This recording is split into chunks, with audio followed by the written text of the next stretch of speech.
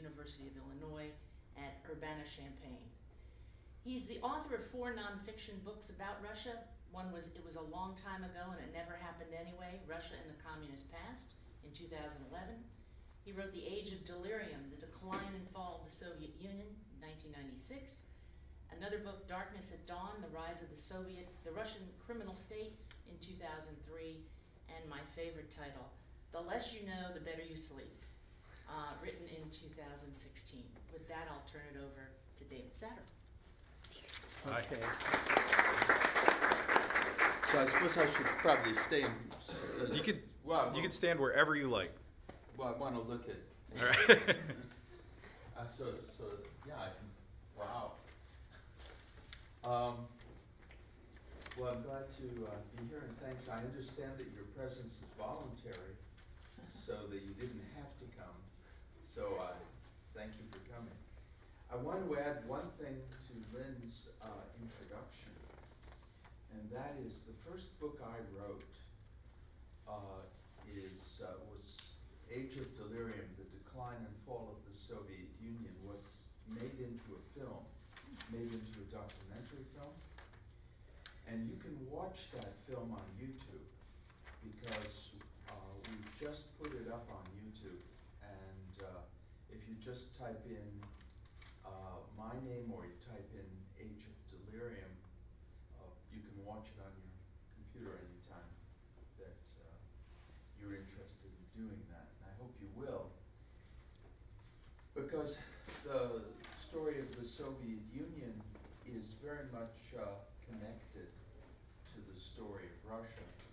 You've all, you were all born after the Soviet it was the formative influence for generations of Russians uh, who lived under a totalitarian regime and were accustomed to the idea that the state can do pretty much what it wants to do with the citizens.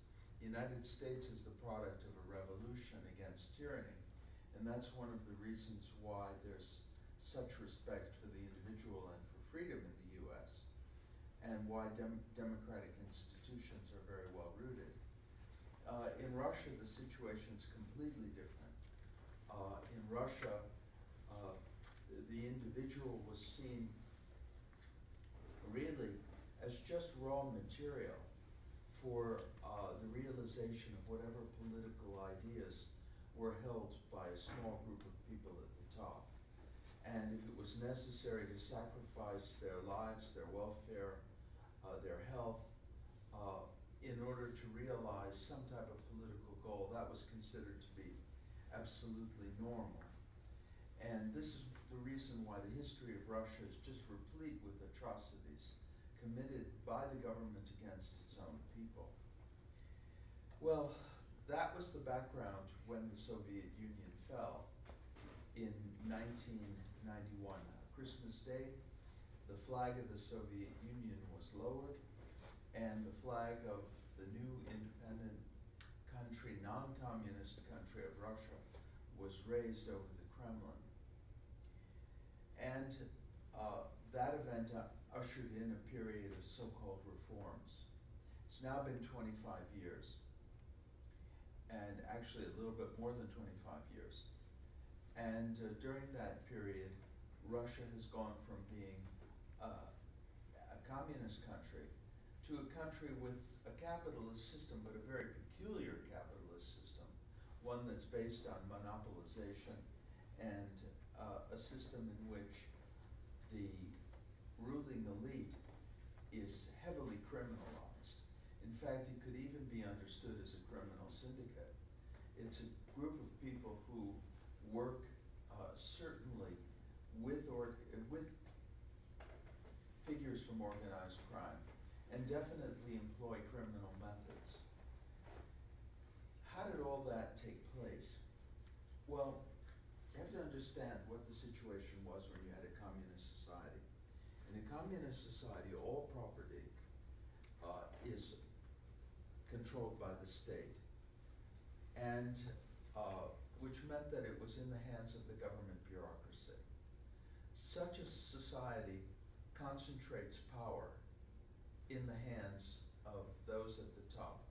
in our society, because we have a, a, a free economy, a private economy, there are concentrations of wealth among private individuals who have power completely independent of the state. That wasn't the way it was in the communist system or in the Soviet Union. Soviet Union, the political authorities not only controlled the, uh, the government, they controlled the entire economy. And uh, what that meant for an individual, in fact, was that if you po- opposed the government and were lucky enough not to be arrested or put in a psychiatric hospital, uh, you had to turn to that same government to get a job. Uh, and there was a record of your political dissents. It was far from easy. Well, in any case, the theory of the reformers who took over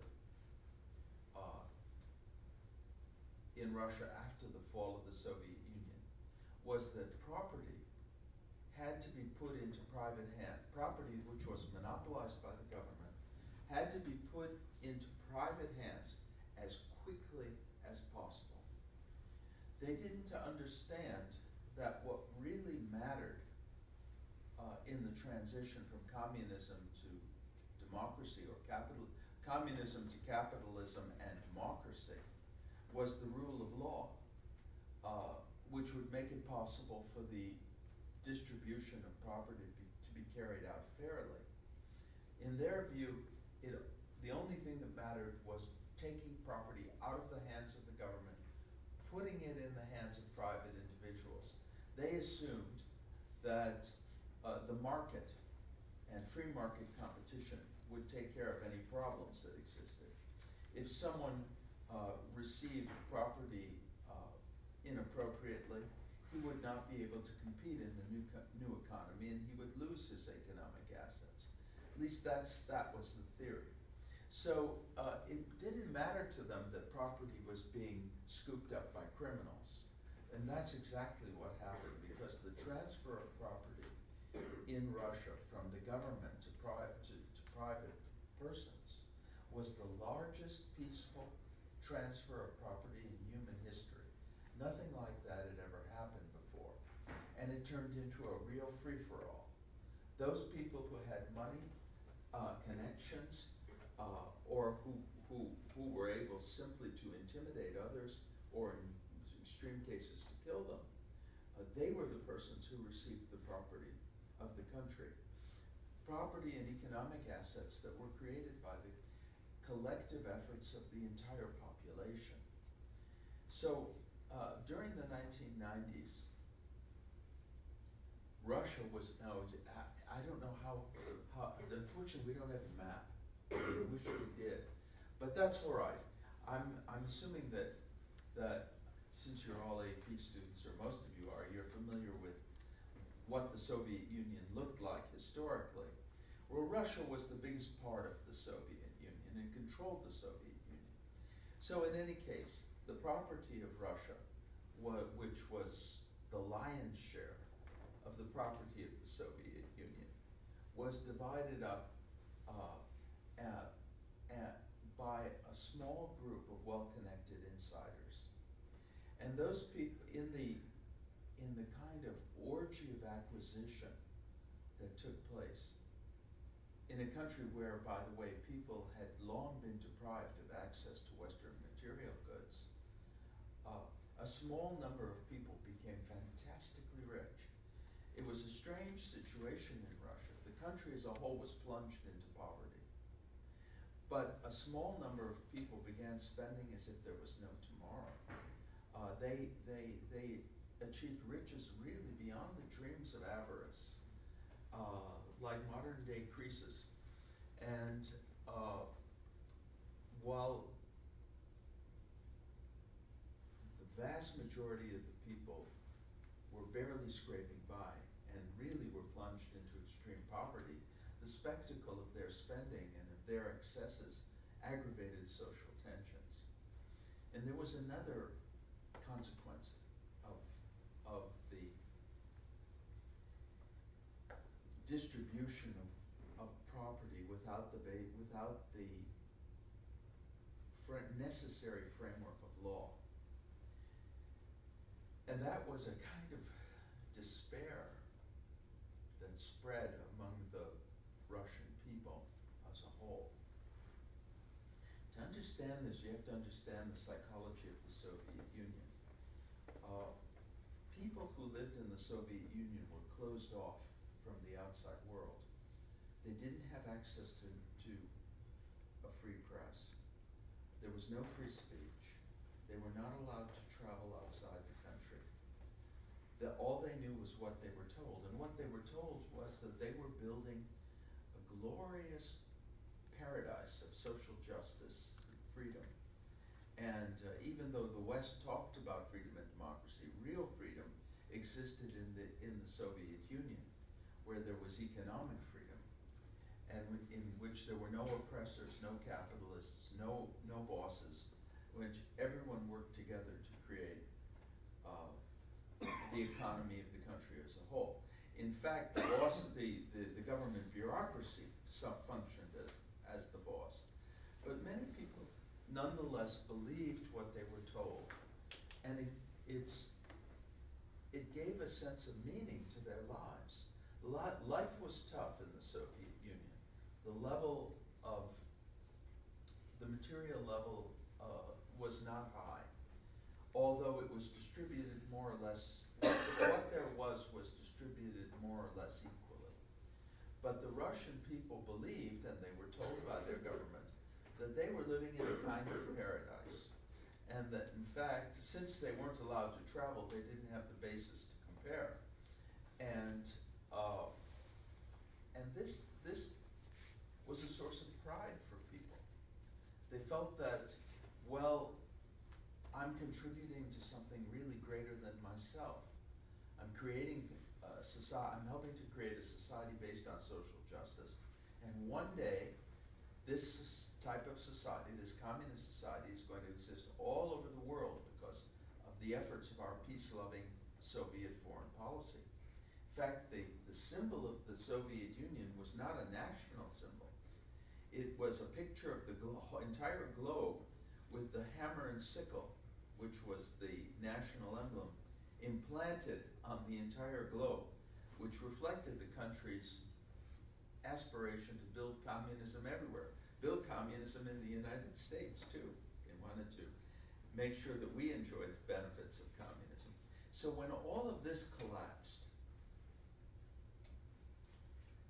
the mythology left a va- and the absence of a, of, of the communist mythology left a kind of spiritual vacuum in people's lives that in theory could have been filled if Russia began creating a law-based democracy and uh, in which traditional universal religious values were placed uh, at the forefront of the, of the country's life. But that's not what Russians saw.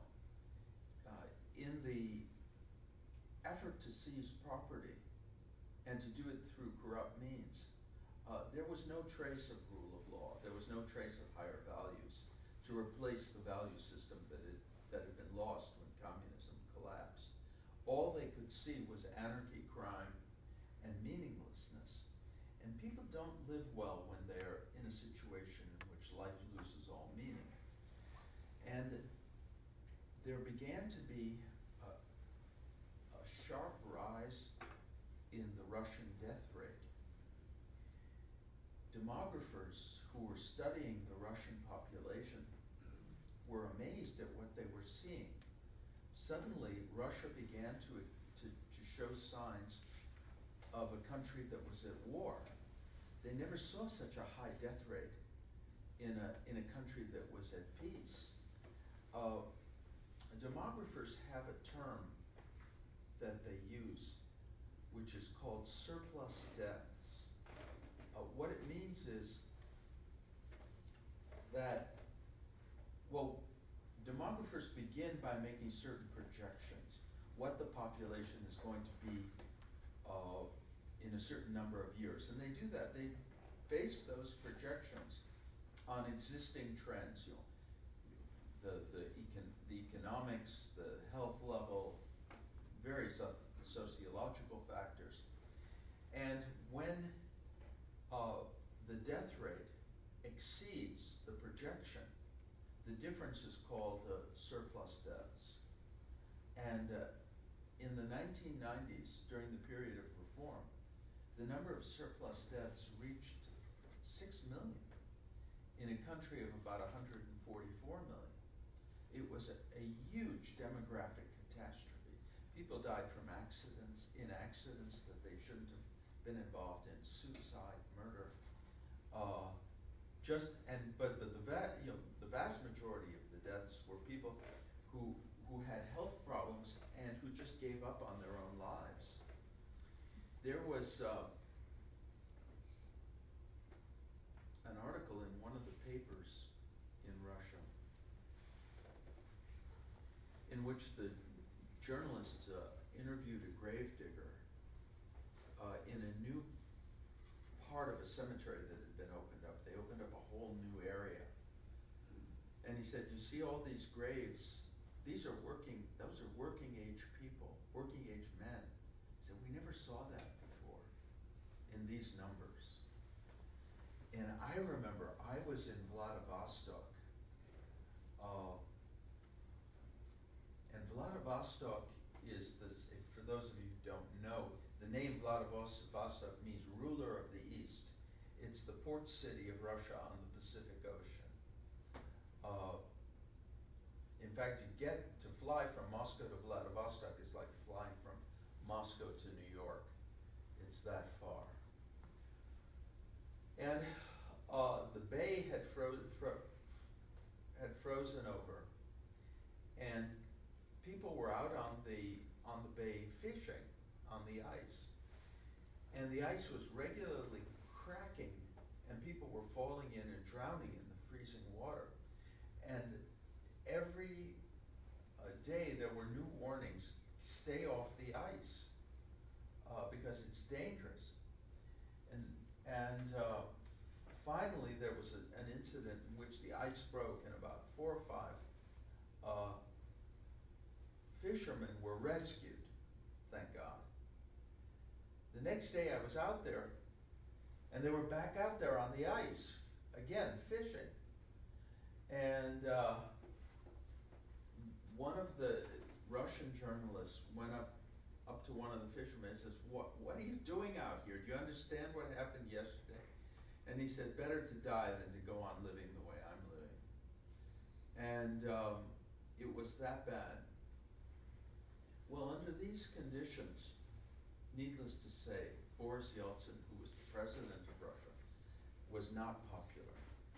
And uh, late '90s, preparations began to be made for new elections. Uh, under the Russian constitution, the president could only be elected twice. That meant that Yeltsin uh, would have to step down if the constitution was to be honored. But the rumors began to circulate that there something was going to happen. There would be some type of provocation in order to make it possible to, you know, to declare martial law and cancel the elections. Because Yeltsin was afraid that if elections were held and if someone, a new leader came to power, that he would be arrested, held responsible for the destruction of the country. And, uh, but no one knew exactly what was going to happen. I was in Moscow in the summer of 1999, and the Russian capital was just awash rumors. Everyone had their own theory. One person said that uh, there was going to be, there one rumor was that there was going to be a war between criminal gangs, and that would be used as an excuse to declare martial law and cancel the elections. Another person said that, another theory, I'm sorry, was that uh, they would, they, terrorists would blow up government. Another theory was that very prominent people in Russia would be taken hostage and killed. And that would be the, the, uh, excuse for canceling the elections. But I mean, nobody was sure what, what was going to happen, and there were rumors, uh, that contradicted each other. And then suddenly in September nineteen ninety-nine, apartment buildings began to be blown up. Uh, first, an apartment building was blown up in Buynaksk, which is a city in Dagestan in the south of Russia in the Caucasus region. Then two buildings in Moscow were blown up in a working class area. Then a building in Volgodonsk was blown up. And uh, the government announced that we were un- that, the, that, that Russia was under attack by Chechen terrorists. Chechnya is a, a region in Russia that had attempted to break away from Russia and uh, had been uh, involved in a war uh, between 1994 and 1996, with the result that it gained provisional independence. The Chechens denied any involvement in the terrorist act. Uh, and there was no proof that they were involved. There was no evidence that they were involved. Now, 18 years after the attacks, there is still no evidence that they were involved. But the Russian official said there's a Chechen trail. And the, the use of words was a little bit strange. Chechen trail, what does that mean? You mean, the, the, is there evidence or is there not evidence? Uh, only a trail, but that trail was enough to just, to, to launch a new war in Chechnya, to invade Chechnya a second. Uh, that war was pursued very ruthlessly by the newly named prime minister, a guy named Vladimir Putin. And Putin immediately uh, rose in popularity because he was suddenly the defender of the Russian people against a, a vicious terrorist attack. Terrorists had attacked Russians in their homes, had blown them up in, in the middle of the night, including you know, old people, men, women, children. And now Putin, the new prime minister, was leading the war uh, to avenge this perfidious attack. What it did was it changed the whole conversation. If previously all of the discussion was about the pillaging of the country during the 1990s, suddenly uh, all discussion was about avenging this attack on, on the Russian people. And who was at the head of this uh, uh, avenging operation? Vladimir Putin, the former head of the FSB, a person no one had ever heard of before. Uh, and uh, he rose in popularity, won the, won the elections in 2000, which were not canceled. And his first act in office was to pardon Yeltsin, his predecessor and the person who had appointed him prime minister, for all crimes committed uh, while he was in office. And uh, it would have been a very successful operation, except that a fifth bomb was found in the basement of a building in Ryazan.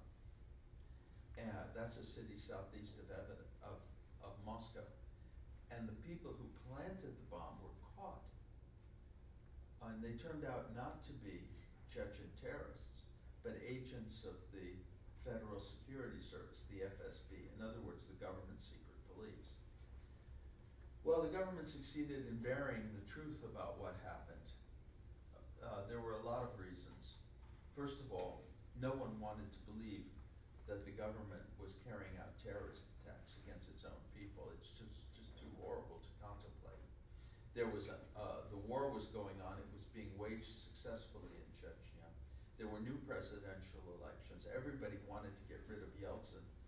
Putin at least appeared to be sober, not, not, not a, a severe alcoholic like Yeltsin. And uh, the strange episode in Ryazan was forgotten. Now, I, I went to Ryazan to investigate. And I talked to the policemen and I talked to the people in Ryazan. And uh, everyone believed that what was involved was a real attempt by the FSB to blow up a building. And that building had four hundred people in it. And it was situated at the top of a hill. Had it been blown up, the, the, the rubble from the, the, the building would have hit the build, building that was next to it, but located slightly lower on the hill, force of an avalanche, and, and taken that building too, and there were four hundred people living in that building. So the, the three hundred people were killed in the four explosions that had taken place up until then. But the death toll would have been much, much higher had that bomb gone off and had it not been discovered in time. So the result is that uh, the true nature of what happened was never really examined. The US State Department, and I've, I've gotten documents from the State Department under the Freedom of Information Act, closed its eyes to what was happening. They had informants who told them that this was, in fact, a, a terrorist act by the government against uh, the Russian people, or at least indicated that they believed that. But the US did not pursue it, perhaps because of a desire to be friendly with Russia, perhaps out of a, desire not to face the truth, whatever it was. But the reality uh, did not uh, change because we refused to face it. And step by step, the new government of Vladimir Putin tightened control in Russia to the extent now where uh, there's almost no dissent in the country. Political opposition. And uh, Russia is, in its foreign policy, an enemy of all democratic societies. And that's how uh, we got more or less to where we are. Now, uh,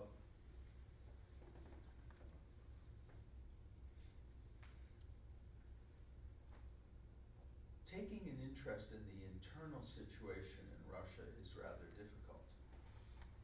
Uh, so it's not too surprising that relatively few people try to understand what's going on in Russia, uh, what kind of country it is. Uh, for a long time, Putin was uh, lionized in the US and elsewhere as a dynamic and democratic young leader. It was easier to close our eyes. But in 2013, a mass protest took place in Kiev, the capital of Ukraine, which is another country that emerged from the Soviet Union, very similar to Russia, and is uh, the neighboring country. And the result was to overthrow the leader of Ukraine, Viktor Yanukovych, who was the same type corrupt and dictatorial leader as Putin. The Russians saw this as a threat to their security, not in terms of the security of the country, even though they would love to convince people that that was the case. They saw it as a threat to the uh, dictatorial system that had been established under Putin. And the reaction was uh, to try to distract the attention of the population from what was going on by launching a new war. So you see the parallelism, just as the, the, the war in Chechnya was launched in order to distract the attention of the population from pillaging of the country during the 1990s. The war in, in Ukraine was launched to distract the population from the true lessons of the anti, uh, anti-kleptocratic revolt that had taken place in Ukraine and that could easily be duplicated in Russia. It was under those circumstances that the Russian authorities lost patience with me because uh, they had tolerated my presence for a long time, even though I made clear that I did not believe the official story about the apartment bombings, that they were carried out by Chechen terrorists. Uh, and uh, I was critical other respects. But in December two thousand thirteen, I was told that my presence on the territory of the Russian Federation was undesirable and I was banned from the country. So since then, I've been here in the US, uh, with all of you, uh, writing about, uh, writing about what's going on in Russia. And to my surprise, as a result of the uh, presidential election and the contest between, on the one hand, Hillary Clinton and the other Donald Trump, uh, Russia came back into the news in this country in a very big way. I mean, we would have never paid attention if it had been just a matter of what was going on over there. But once it affected the US presidential election, the whole country became Russia experts. And uh, that's where we stand at the moment, in which uh, there have been all kinds of accusations back and forth, the most important of which is that Donald Trump, or at least people connected with Trump, cooperated with Russian intelligence or with the Russian regime in order to throw the election, or, to, to torpedo Hillary Clinton and win the election. So that's where we are at the, at the moment. And I can answer questions about that and anything else that you may be interested in. But I think we should leave, how much time do we have now for questioning? Uh, six minutes. Oh, that's not enough. All right, well, any of you have any questions? We can stay longer, kids. You don't want to go to third period. No, Can they I don't. you know, we don't wanna be Is that a lie? contributing to the delinquency. Yeah. Disruption. And your assistant principal sits in the back. Are Does there any anyone questions? have any questions after hearing all that? I would like to ask a question. Yeah, all right. Yeah, sorry. Um, did you ever fear for your personal safety when you were there? When I mean, when you made it clear to Russian authorities that you didn't believe the official story about the apartment bombings, or or at any other time, as a foreign journalist, did you worry? Because Well, you had to worry a little bit because the, the, you know, they, they, they, there were many cases of Russians being killed. right, Uh, and uh, when one of the persons that I knew quite well and uh, who was working on the same subject, the apartment bombings, was murdered, that, that was uh, Sergei Yushchenkov. Um, in 2003, of course, you know, you had to be. I felt that my position as an American gave me a lot of protection. And I also felt that they wouldn't want to do anything uh, against me because that would only confirm the truth of what I was saying. But of course, that was a bet, and that you know, I'm- a bet that that that that could have been wrong. So of course, I had in the back of my mind there there was that concern. But as you see, they chose uh, to deal with me. In in fact, a lot of people told me that uh, I should be grateful to them uh, because they have other ways of dealing with people, not just expelling them. But anyway, they did, and here I am. Here you are. Now, but I'm hoping that after all that, at least some of our students will have some questions. I know you have, you probably have to take the initiative in your classes. Well, go ahead, yeah. Uh, what do you think uh, Putin's reaction will be to uh, last night's missile attack? Uh, well, they'll make a lot of noise, uh, but I don't think there'll be much. You know, they've been buzzing American ships and planes in the Baltics, and and and uh, uh, coming very close to provoking incidents, uh, because they know that the West, or they calculate that the West will not react forcefully, but the Turks uh, when the Russians crossed into their airspace for just a short time, shot down a, a Russian and there was no reaction. Now they're so uh, the thing about the the Russians like to to push and to test, but when they meet resistance, generally speaking, they back off. And I, my my guess is that that's what we're going to see in this instance as well.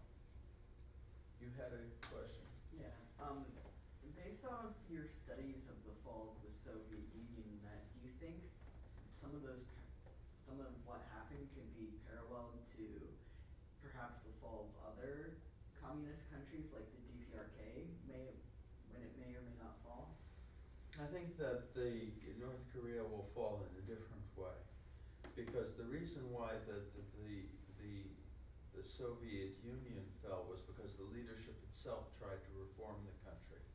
Whereas that's highly unlikely in the case of the North Korean regime. I, uh, my guess is that the North Korean regime will, uh, that something will trigger its collapse, but that uh, it will appear to be all powerful up until the, the, the, the, the verge, up until the moment when it begins to, to, to fall apart. And it'll fall apart very, once that happens, the process, it will, will move very quickly. But in the case of Russia, it was a different thing because the, the, the Gorbachev leadership and this was something that was difficult to have predicted in advance, thought that they could reform communism, and it turned out to be unreformable.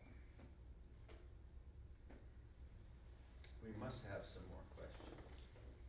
Yes. So, with the controversy of the election recently, now it's all over the news that we see, you know, um, past relations kind of coming up and different relationships, relationships that we're kind of now seeing, like, for example, uh, Jared Kushner with, um, like a Russian bank in December that was found. Um, but what I'm getting at is, were there any signs of when you were working of any like peculiar relationships with the Russian and U.S.? Oh, all the time. I mean, the, the fact is that you have to understand that the property of Russia was stolen. Huge amounts of money had to be had to be laundered. Where is it going to be laundered and safeguarded? Only in states that have rule of law, like the U.S. Well, uh, U.S., the U.K., uh, you know, other countries. Uh, well, that requires an army of lawyers, public relations advisors, lobbyists, uh, enablers, and uh, many of the people who are now screaming about Trump's connections with the Russians themselves had those connections. uh, and in many cases, even worse. Uh, the, uh, it's, it's all a kind of comedy what's going on right now. I'll tell you the honest truth. I, I wrote a piece about the Trump dossier, which some of you may be familiar with. This is the supposed, this is the supposed information about Trump A, A cooperating with the Russians in order to torpedo Hillary, B engaging in all kinds of sexual uh, escapades in Moscow. All of which, by the way, strike me as having been, you know, created by the FSB novelists who work on these work on these things. Uh, and uh, but the you know if you look at the the, the the dossier carefully, for one thing, it's written for people who don't know anything, but for someone who does know any does know and can recognize some of the traditional ways in which these things are put together, uh, it's obvious that it was an uh, a, KGB FSB fabrication. Uh, it doesn't mean that there weren't various connections between people in the Trump campaign and the Russian uh, government and uh, and uh, uh, economic figures. I mean, there, there are, but that was true on both sides. It's um, but but the way in which it's it's being depicted and used, of course, is is a product of the internal American political situation. Yeah. When you were in Russia, did you ever find it difficult to find people to hear you or talk about a lot of this? Was anyone very skeptical about talking about what happened? Well, there's no shortage of people who are skeptical in Russia. I mean, the, the situation breeds skepticism. And uh, the problem was finding, uh, the problem was actually having the will to look for the information. Uh, any Western diplomat or journalist who was really interested in finding out what was going on, there would have no trouble doing it, and he would have no trouble finding people, you know, if he had, is willing to work hard, who could, who could, who could tell him a lot. But uh, the fact is that the, the mindset is so bureaucratic and so career driven that, you know, if it's not necessary for your career, why bother? And, uh, and the career is set by the, by the political objectives of whatever party or whatever administration we have, uh, directed rather narrowly toward political objectives. And uh, there's little incentive. The number of people who go to Moscow, and there are a lot of them, journalists, diplomats, uh, uh, who are really interested in the country and really want to know what's going on there and are re- willing to make the effort, is very, very small. Unfortunately. Well, when you guys go out and become correspondents and diplomats, if any of you do, uh, I hope you have a different attitude because um, it's much more interesting if you really think outside of a career framework. I mean, people always have to make their careers, of course, because that's what you live off of. But it can't, if it defines you completely, you miss a lot. And that's what happened in, in the case of Russia. Okay, guys. Um, I'm gonna. Oh, you guys, if you have to go to the third period, you can take off. I'm gonna send a send an email saying please, you know, allow them in late. But if you have any questions that you'd like to ask Mr. Satter, you can hang around, and that's okay. If you don't have any questions, get out. No. yeah. It's uh, today. Okay, because that's not. Yeah, no, it's, it's, it's today. All right.